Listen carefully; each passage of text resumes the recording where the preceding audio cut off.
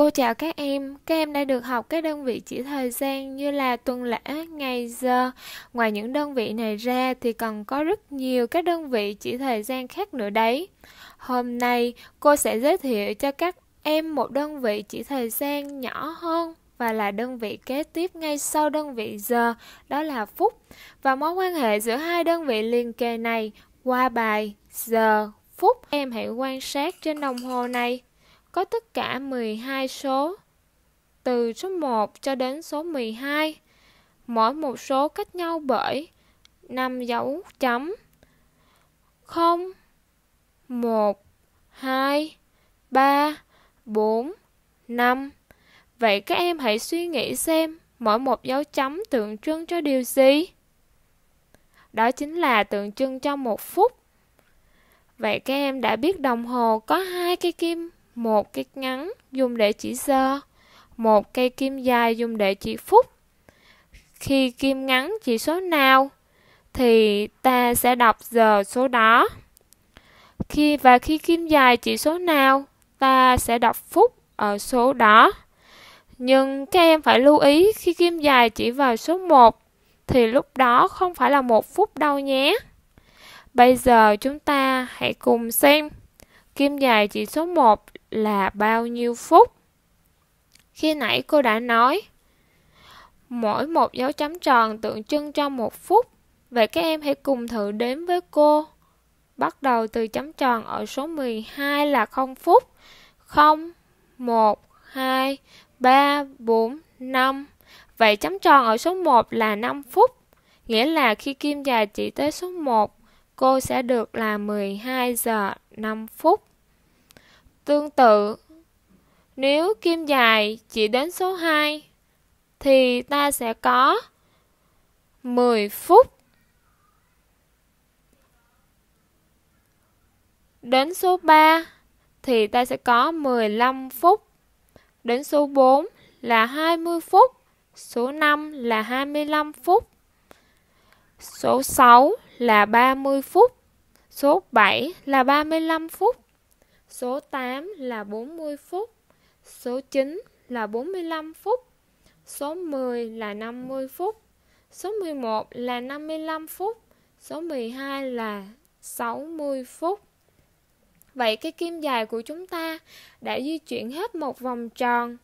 Có nghĩa là cây kim dài đã di chuyển hết một giờ hay còn gọi là một tiếng đó các em. Vậy một giờ hay còn gọi là một tiếng sẽ có bao nhiêu phút hả các em? Khi nãy chúng ta đã đếm từ 0 cho đến 60, vậy 1 giờ sẽ là 60 phút. Các em hãy lặp lại theo cô. 1 giờ bằng 60 phút.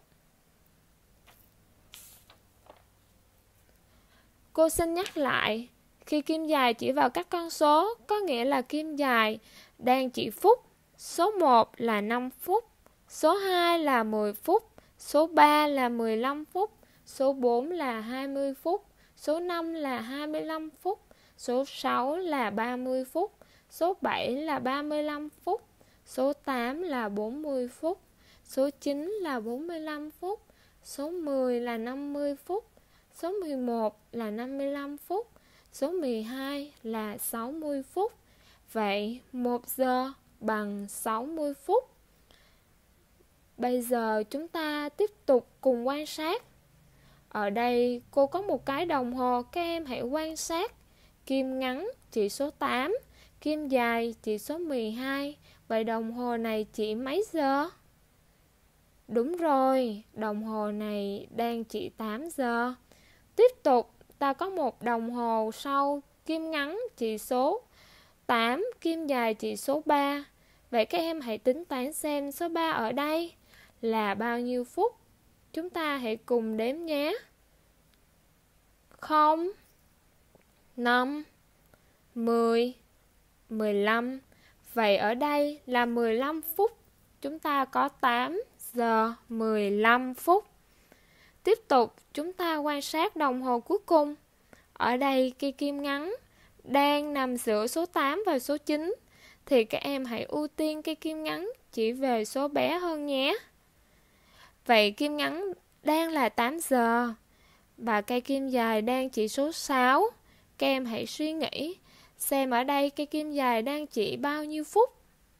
Bây giờ chúng ta cùng đếm 0, 5, 10, 15, 20, 25, 30.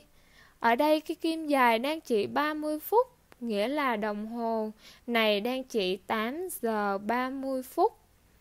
8 giờ 30 phút còn gọi là 8 giờ rưỡi. Cô sẽ củng cố lại kiến thức của bài học ngày hôm nay nhé. Ta có 1 giờ bằng 60 phút. Khi kim giờ đứng ở vị trí nào thì thể hiện số giờ tại thời điểm đó. Khi kim phút chỉ số 12, ta có giờ đúng. Khi kim phút chỉ số 3, ta có thêm 15 phút nữa. Khi kim phút chỉ số 6, ta có thêm 30 phút nữa. Cô ví dụ, khi kim giờ chỉ số 9, kim phút chỉ số 12, đồng hồ chỉ 9 giờ đúng. Khi kim giờ chỉ qua số 9 một chút, kim phút chỉ số 3, đồng hồ chỉ 9 giờ 15 phút. Khi kim giờ chỉ giữa số 9 và 10, kim phút chỉ số 6, đồng hồ chỉ 9 giờ 30 phút, hay còn gọi là 9 giờ rưỡi. Bài học hôm nay đã kết thúc rồi. Các em hãy vận dụng phần kiến thức cô dạy vào các bài tập nhé.